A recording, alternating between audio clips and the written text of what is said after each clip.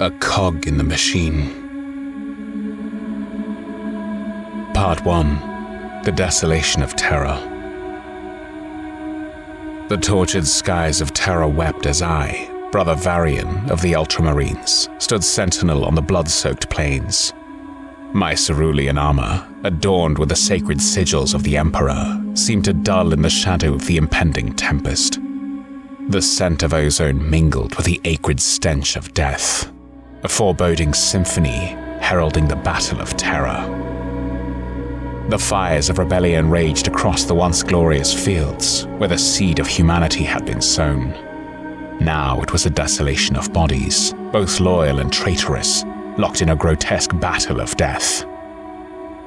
The ground, churned and scarred by the boots of countless warriors, whispered the tales of countless lives extinguished in the name of a vision twisted by treachery.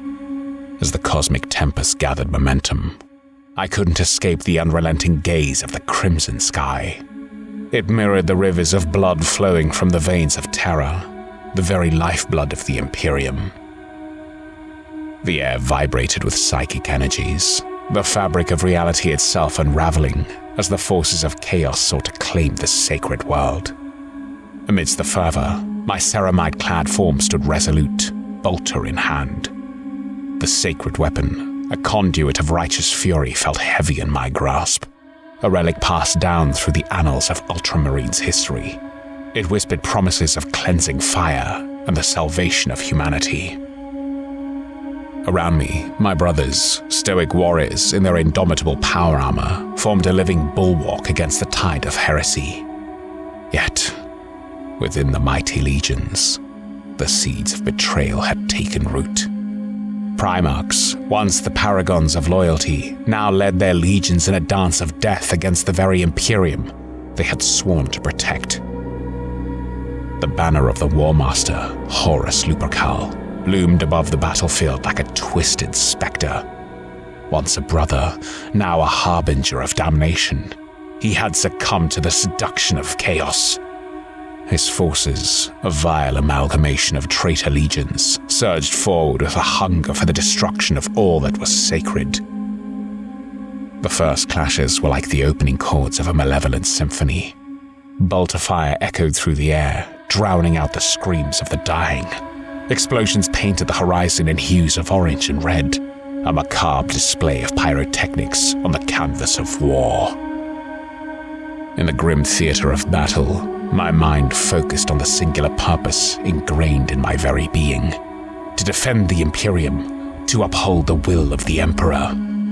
The mantra echoed in my mind, drowning out the maddening whispers of the warp. As the battle unfolded, I found myself facing a corrupted reflection of my own kin. A brother, clad in armor that bore the scars of heresy, emerged from the smoke and haze. His eyes, once mirrors reflecting the light of the Emperor, now glowed with a perverse radiance. Betrayer!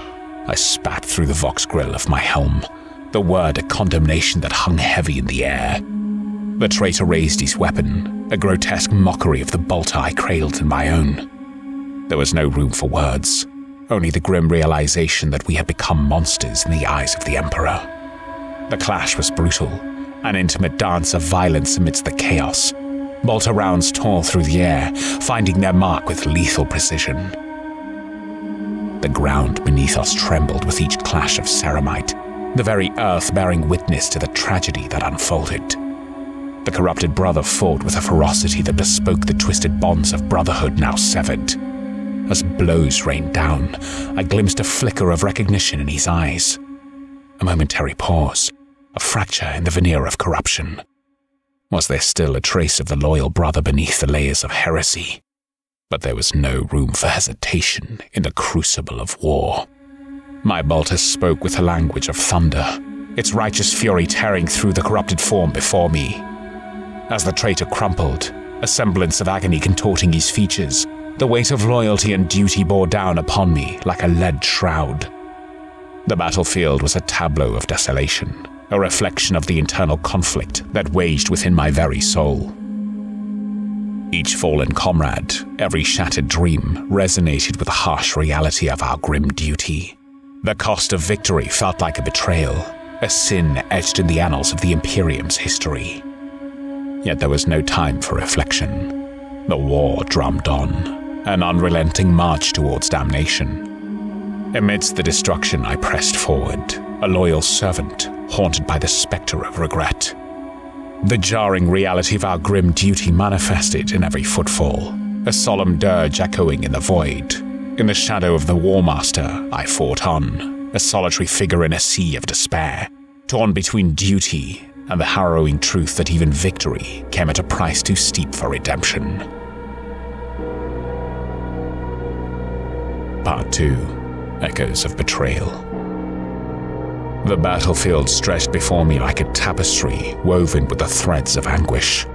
The wails of the dying resonated through the shattered ruins, blending with the mechanical thud of ceramite clad boots. In the distance, the silhouette of the vengeful spirit the accursed flagship of the War Master, hung like a spectre in the warp stained sky. As I forged ahead, my mind became a battleground of its own. The psychic turmoil intensified with each step, the whispers of the warp clawing at the edges of my consciousness. I clenched my jaw beneath the protective confines of my helm, seeking refuge in the cold embrace of discipline.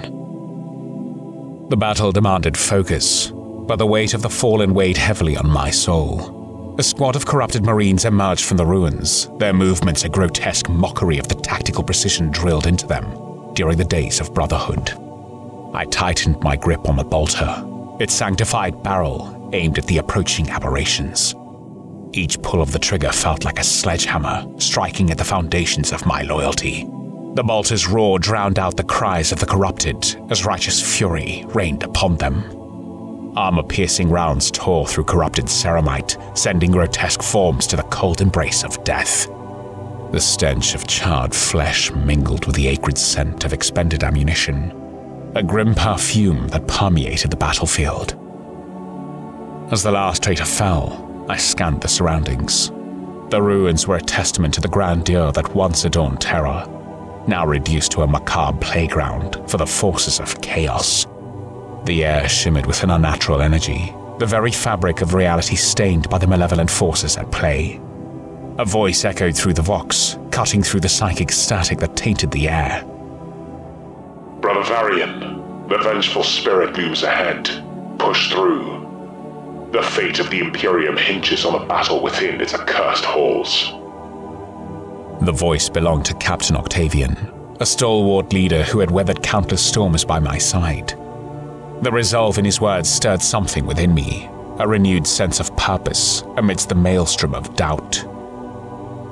The journey through the war torn landscape felt like a descent into the heart of damnation. Every step brought me closer to the looming silhouette of the flagship, the epicenter of the rebellion. The psychic aura emanating from that vessel was palpable, a cacophony of discordant energies that resonated with the anguished cries of the fallen. The vengeful spirit's grandeur, once a testament to the might of the Imperium, now stood as a twisted monument to betrayal. As I approached its looming entrance, the gateway to the belly of the beast, the air became charged with malevolence that clawed at the edges of sanity. My bolter remained at the ready as I crossed the threshold, stepping into the shadows that engulfed the interior.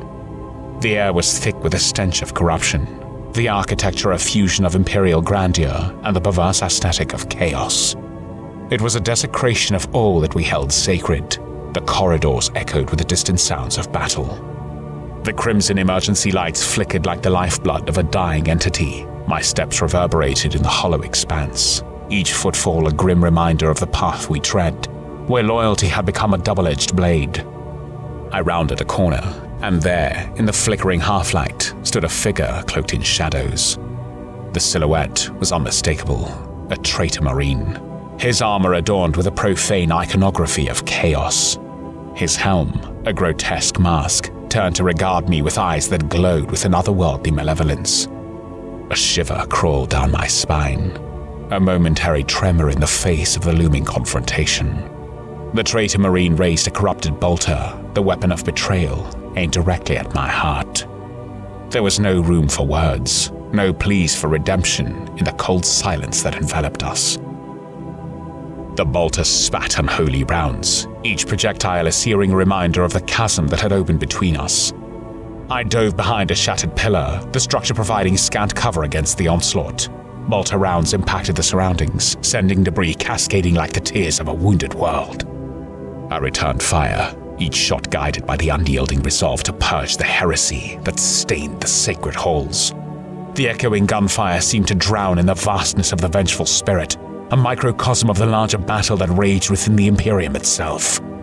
The traitor Marine advanced with a malevolent grace, his movements a grotesque dance that mirrored the chaos that had birthed him. The bolt of fire intensified, a relentless barrage that sought to snuff out the last embers of the loyalty within my soul. In the relentless exchange of firepower, I glimpsed a flicker of recognition in the eyes of the traitor Marine. Was there a vestige of the brother he had once been, buried beneath the layers of corruption? The thought lingered in the recesses of my mind, a seed of doubt sown in the fertile soil of war-torn loyalty. As the firefight reached its zenith, a bolt found its mark. The traitor Marine staggered, his corrupted form convulsing in the throes of agony, the twisted mask of his helm contorted, revealing a visage that spoke of both torment and familiarity. The corridor fell into an eerie silence as the traitor Marine crumpled to the ground. His armor, once a symbol of brotherhood, now lay broken and tarnished. I stood amidst the aftermath, the echo of betrayal reverberating through the desolate halls of the vengeful spirit. The psychic residue lingered in the air, a tangible reminder that the battle within the Imperium mirrored the cosmic conflict that raged beyond the stars. I pressed forward, the path ahead a twisted labyrinth, leading deeper into the heart of the rebellion.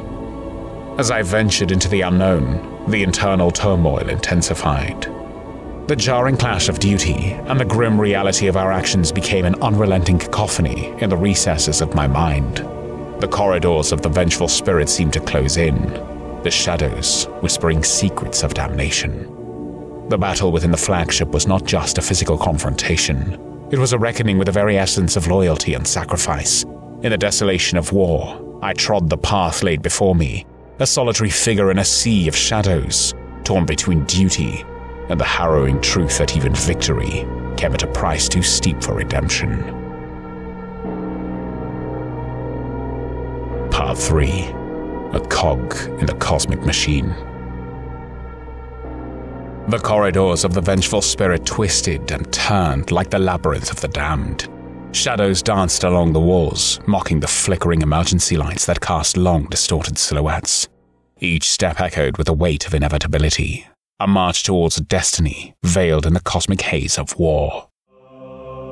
As I delved deeper into the flagship, the echoes of distant battles reverberated through the steel arteries. The war within the vengeful spirit mirrored the greater conflict consuming the Imperium, a reflection of the eternal struggles against the encroaching darkness. A vast chamber unfolded before me, its enormity shrouded in an ethereal gloom. Pillars of dark obsidian rose like ancient sentinels, their surfaces etched with profane symbols. At the center of the chamber, an altar adorned with the symbols of chaos stood as a blasphemous monument. Before the altar knelt figures clad in tattered robes, their chanting a dissonant hymn that resonated with the warp's malevolent whispers. At the heart of the congregation stood a figure, his aura pulsating with an otherworldly radiance. The War Master, Horus Lupercal. The architect of betrayal cast a long shadow upon the unholy gathering. My bolter remained raised, its barrel aimed at the heart of the corrupted assembly. The moment hung in the air, a tense tableau that encapsulated the cosmic struggle between loyalty and heresy. The gaze of the War Master locked onto mine. His eyes, once noble, now reflected the chaotic storm that raged within. Begone, loyalist. The War Master's voice echoed through the chamber, a guttural resonance that sent shivers through the very fabric of reality. Your futile resistance only prolongs the inevitable. Join us or perish in the fading light of your false emperor. The words reverberated in the hollow expanse, a tempting whisper that sought to erode the foundations of my unwavering loyalty. Yet amidst the seductive allure of chaos, a spark of defiance blazed within me. The Emperor's will, a lodestar in the abyss, guided me through the maelstrom of conflicting emotions. The corrupted congregation surged forward, a tide of heresy unleashed upon the lone figure standing against the cosmic tide. Bolt of fire tore through the air, a hailstorm of retribution that sought to quell the unholy fervor. The cavernous chamber echoed with a clash of war, a symphony of discord that resonated with the desolation of the Imperium. In the chaotic melee, I fought with a stoic determination, each bolt around a testament to the unwavering loyalty coursing through my veins. The traitor Marines fell before the righteous onslaught, their corrupted forms crumpling in the wake of retribution. Yet for every heretic struck down, another rose to take their place. The War Master, a towering colossus wreathed in the malevolent energies of the warp, advanced with a preternatural grace. His every movement was a testament to the corrupted might bestowed upon him by dark powers.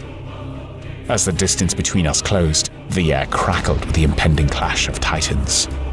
The bolter in my hands roared, unleashing a volley of rounds aimed at the heart of the War Master.